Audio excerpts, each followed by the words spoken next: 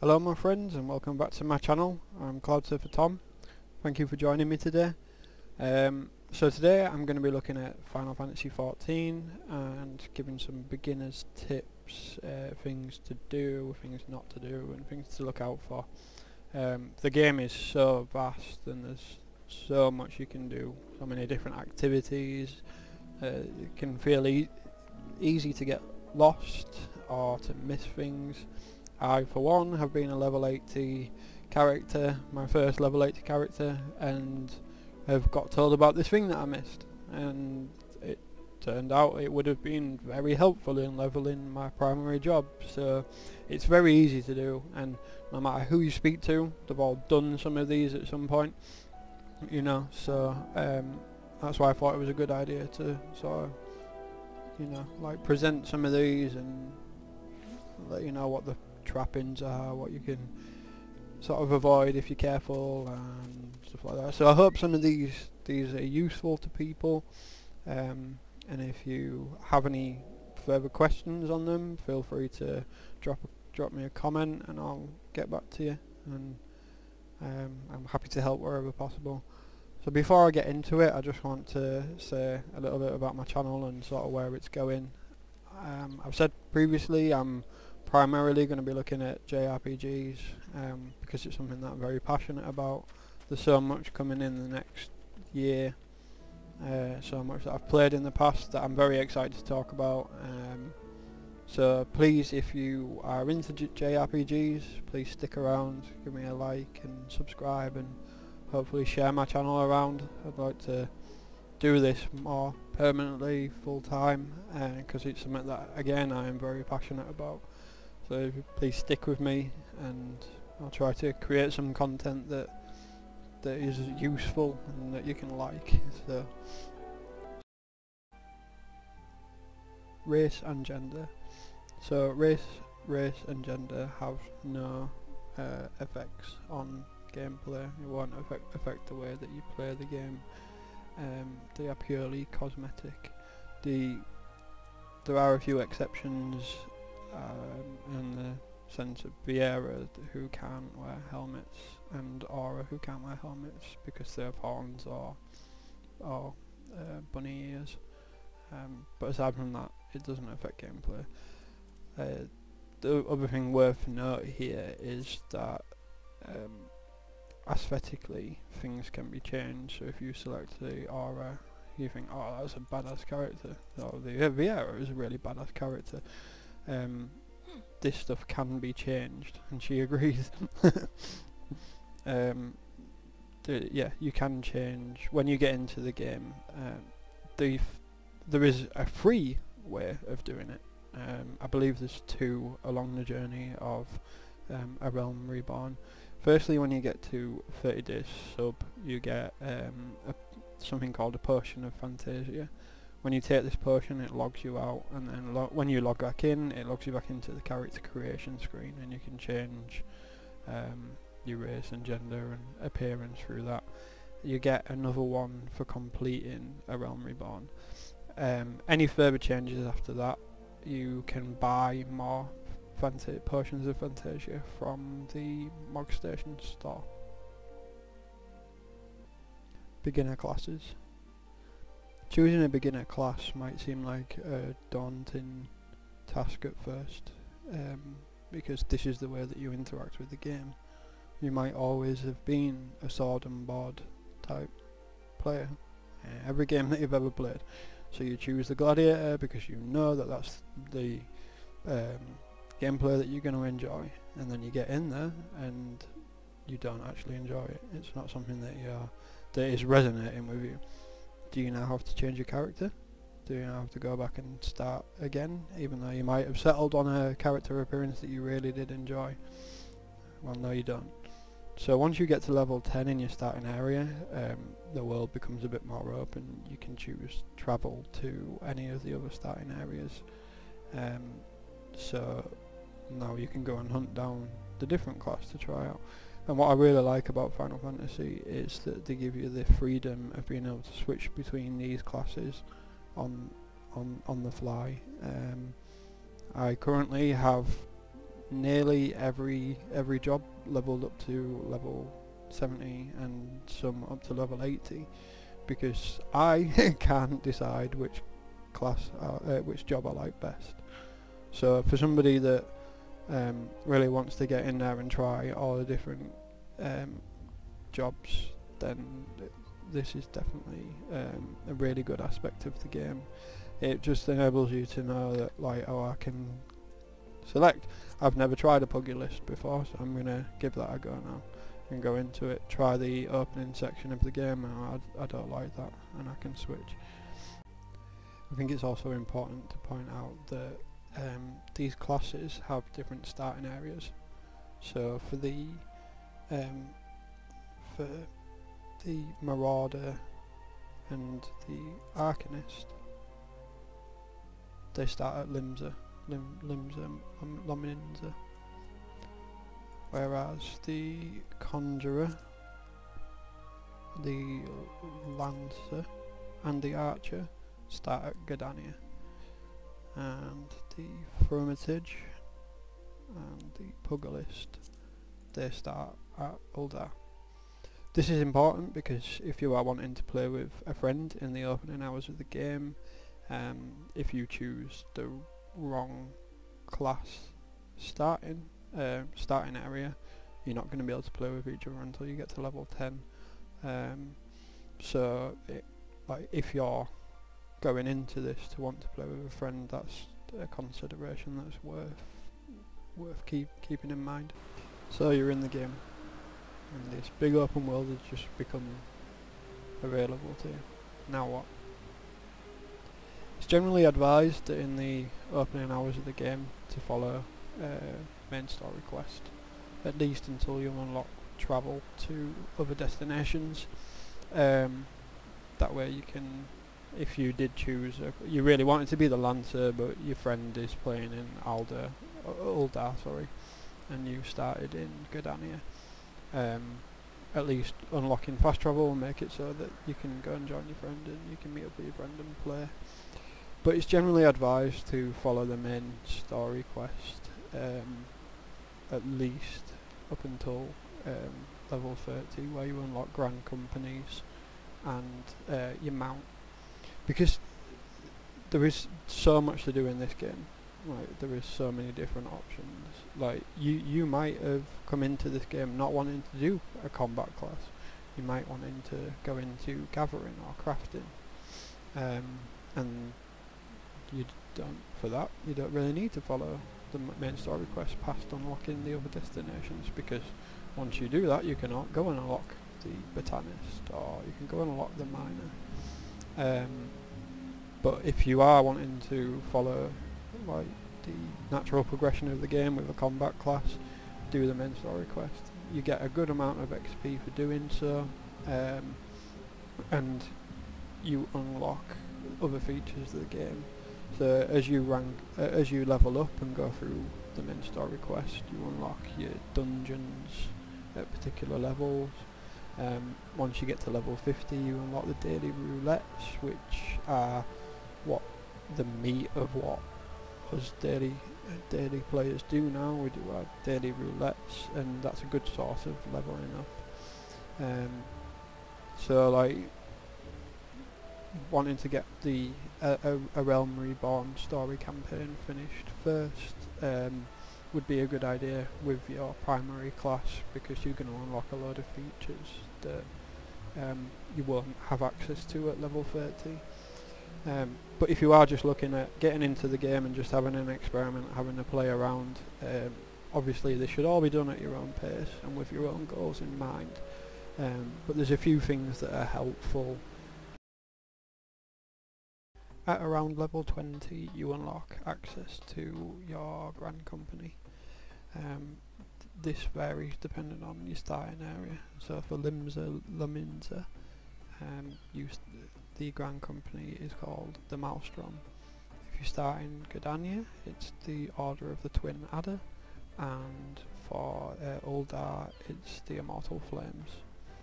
So you'll join up this by following through on the main story quest and this unlocks a number of features so um, mainly the currency that you'll want to farm is from fates and that currency can be spent here getting various um, items like weapons and um, armor uh, materials. So you can cut farm seals to buy these materials and you can also use those seals to rank up your uh, rank within the golden company as you rank up you unlock uh, further things so you'll unlock higher levels on in the seal exchange so you can get better gear higher level gear um, and different materials. But also you unlock different features like um, hunts, clan hunts, uh, where a bill is posted and you'll go out into the world and hunt various monsters which paid allied seals and then you can buy other items which are cool. Um, so there's that and you also um, I'm not sure on the ranks because it's been so long since I've done it but um, later into the ranks, further down the ranking list, you'll unlock something called squadrons, where you form a team and send them out on like, missions. Um, and you also unlock something, uh, a trust sort of system, where you can take these NPCs into a dungeon with you. So if you wanted to practice with some uh, a tank, for instance, or a healer, but you're worried about doing that with other people, um, making yourself look stupid or something, um, then this is a good way to practice. So that's another thing that you can use your allied seals for. Primarily unlocking your grand company, uh, one of the most important aspects of it leads to unlocking your chocobo at level 30. Um, when you reach level 30, a quest will be unlocked called My Little Chocobo um, and that's how you get your mount. Uh, so that's very important um, because obviously that helps you to move around the world quicker. Once you've unlocked your mount as well, uh, another really good thing to do, I would highly recommend doing it as soon as you can, is another quest called My Feisty Little Chocobo, which I believe is picked up in Southern Thanalan. Um, I believe it's Southern Thanalan but this unlocked a companion that you can take into battle with you. Uh, doing this earlier rather than later is good because the more XP that you uh, give your companion, the quicker he'll rank up to rank 20 um, and you can set him as an attacker, a tank or a healer. So for doing solo content, if you're a DPS or a tank, doing so solo content and having your companion as a healer is really really useful and still something that I use. Leveling classes. So there are many ways to level and what primarily people will tell you again like I said about the main story quest is if you're running your first character do the main story um, it can't be stated enough and I'm not the only person that will tell you um, follow the main story quest. You get a good amount of XP for doing it, but you also unlock other features like uh, higher level dungeons and trials. And then when you get to your um, your soft cap levels at level 50, level 60, level 70, and then finally level, level 80, you'll unlock different roulettes, um, which give you a massive daily boost on leveling. But there are other ways to level too. So you could do uh, you could farm fates. So um, in world events that uh, can be taken on by anybody and obviously providing you uh, at the right level um, you can do that and it, you just get tasked with an objective killing so many mobs or kill a particular sort of tough enemy and you get XP for doing that. One way that I like to farm so if you're farming an alternate character, once you've finished the main story, um, obviously you don't get that story experience again. Um, the highest level dungeon and while you're waiting for the dungeon, farm fates. Um, because playing this game, like playing this game effectively, is about maximising your time, like how you're using your time efficiently. To me, anyway. So as I say, I like to farm fates while I'm um, waiting for a queue. Queue times can be varied depending on what class you're running. So for healers, healers get a really good queue time because they're in demand. Uh, tanks uh, have got a medium queue time. You'll find that you queue for a little bit, but not exceptionally long. And uh, DPS tends to have the longest queue times. Um, so for a DPS class, it's very much about maximising efficiency and using that time effectively. So uh, as I say, I like to use fates to farm in between dungeons. Um, another way of doing it, you could do your side quests, but again, it, it really all depends on what what you want to do. Um, you've got these various options that you can choose to to use, and it's what you find interesting really, and what breaks the tedium. Um, because dungeons do take time, waiting for dungeons can take time, so it's what you want to do in the in in that time between that will hold your interest. Um, so yeah, I would definitely recommend uh, like highest level dungeons. So if you're at level 34 and you've just unlocked the 34 dungeon, run that, uh, and in between Fate Farm. Another really good leveling method is uh, something called the Palace of the Dead, uh, which covers level 1 to 50. Um, and you can also do Heaven on High, um, which covers 60 plus. Um, so basically, Palace of the Dead is um, a different type of experience from the usual dungeon grind. You um, are transported into a randomly generated dungeon and you go through floors. Um, you like climb floors basically and clear out waves of enemies within there. There's uh, various mechanisms within there too, like traps, and it has its own sort of loot system that will drop um, things that will enhance you in certain ways. Um, what's really interesting about it is it has its own leveling system. So when you go in, you start at level one, and you work up to level 60. Um, when you come back out, you're back to the level you were before, plus experience from uh, within the game. And every 10 levels, you come out with new experience. So people use this as a great farming method for leveling alternate characters once you've not got the main story to rely on. You can start the Palace of the Dead by um, accepting the quest. I believe it's called the House that the Dead built, or something like that. It's from New Gridania in the inn.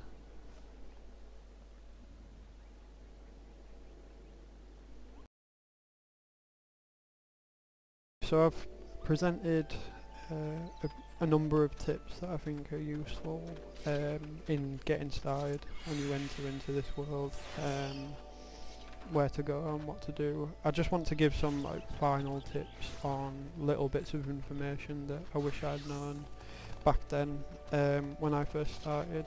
Um, so I'm just going to sort of list them in no particular order really. So starting with leveling, um, after you've leveled up your main class, anything under that class, anything leveled under, um, so if you've got like a level 80 class and then you go to level a new class, like an archer, um, every class under your main receives an armory bonus, um, which I think is 100% extra XP. So that's all like helpful for leveling um, like alternate characters, alternate classes. Um, another good tip with leveling is whenever you log off, log off in a settlement um, or in a city or something like that because you gain a rested bonus. You can see my XP bar down at the bottom down here has um, this like sort of orange section here, this is my rested bonus. So while I've been off, I've been accruing bonus XP. Um, you'll know that you are in a rested place because you'll see this little moon thing down here. If you come out of a settlement, you won't get the rested bonus. So whenever you log off, make sure that you are um, logging off within the settlement. Um, and another really good tip for uh, uh, leveling to maximise your bonus XP is to uh, use food items. These are also good for if you're a DPS class, maximising DPS if you are using the right type of food. Um, they usually have three or four different things on it that will maximise. So this one maximises determination by 8% and these last for 30 minutes. These can stack up two times as well, um, as long as you're using the same item. So you could use it once and then use it again and then you've got 60, mi uh, 60 minutes of bonus XP. So that's a really good like useful thing to get in get into um, when you're like going into dungeons and stuff. You only gain 3% XP bonus, but when you consider going up to the higher levels and you're getting 3 million XP for a leveling roulette, 3% on top of that, it's a, a, a decent chunk of XP, so definitely do that as well. Um, I also just want to take a quick moment to explain a little bit about the gear. So gearing has different tiers. So you've got your normal tier, which is sort of just this with the grey background. And then there's dungeon items. These only drop drop from dungeons, and they, they tend to have higher stats. So you can see here that um, this like Lakeland Blade is a dungeon drop, and if you compare that to a level 71 sword for the samurai, it'll have more stats than the base version. So uh, when you're going through dungeons and something green drops, they're actually in a Realm Reborn up to level 50, they have a pink background, but after that they have a green background.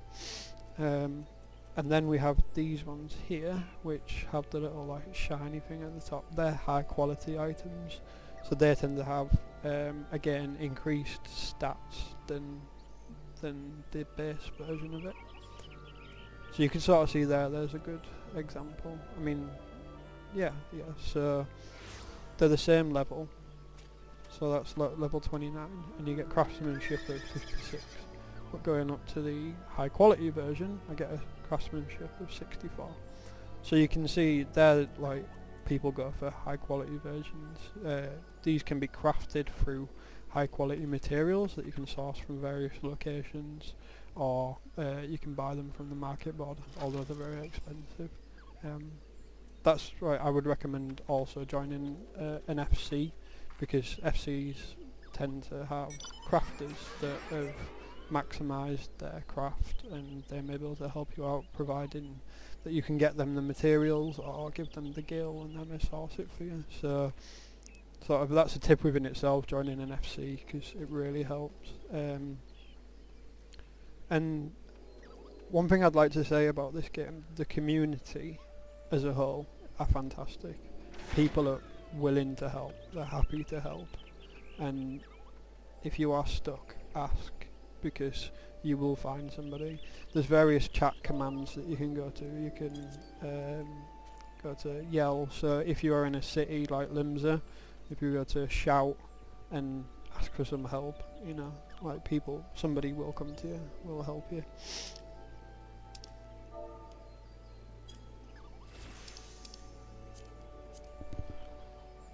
And lastly, I just want to mention about quest icons. Uh, I said earlier on that main story quest unlocks uh, access to other other things, other activities, other sort of events that are important to you as you level up uh, and, and as you go through the crafting quest. So if I just go to journal quickly, I'll just show you. Um,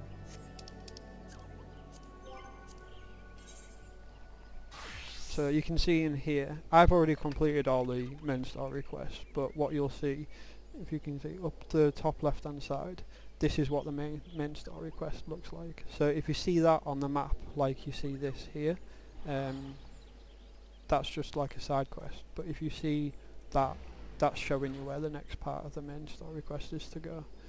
Um, you'll see obviously that is your side quests. And then these blue ones here this is indicating that something new is to be unlocked. So if you do do that um, if you come across one of these and complete it you'll unlock a new event. That could be leves uh, guildhests all sorts of stuff really. So um, definitely look out for them. The other variations on that this is a repeatable quest. So uh, you tend to find these uh, on like beast tribes that, um, they may have like a daily cap or a daily limit but you can repeat these quests. These are class quests. Oh something that I didn't mention before was something that is really important. Every five levels in your class um, you unlock a new job quest. It's really important that you do these. They give you good XP they give you gear for your um, your chosen class and they can unlock abilities as well so certain abilities might be tied behind a job quest so it's important to keep up with keep up with your, your, your quests every five levels. And then at level 30 you unlock your job quest. So I showed you the beginner classes earlier on.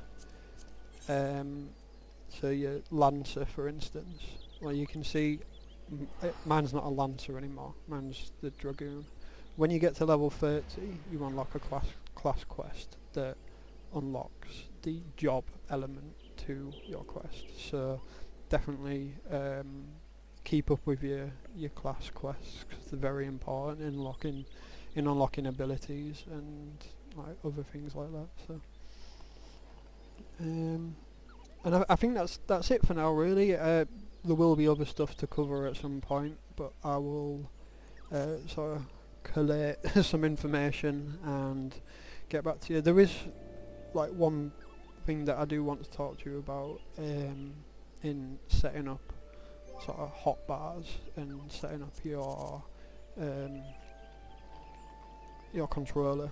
Like there are loads and loads of options but I'm going to do a separate video on that because you can get really in depth with it. Um, you can see just from looking at my HUD how many different things I've got here. So this is the cross hotbar and then there's an, an extended cross hotbar that you can set and then so if I double tap left trigger it'll go over to my left side of the extended cross hotbar but if I hold left trigger and right trigger it opens another bar.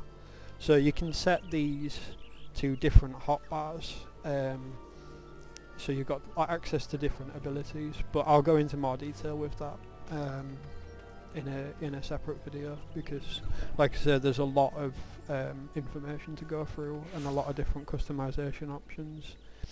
Um, and just finally just something that's come to me um, there is such a thing as a novice network which you can join up to level 50 I believe and I'm not sure if it's invite only or if you can find it from the menus but that might be worth something to consider because it's either mentors that have been around in the game for a long time and they'll sort of take you under their wing and help you through it through the early early stages of the game.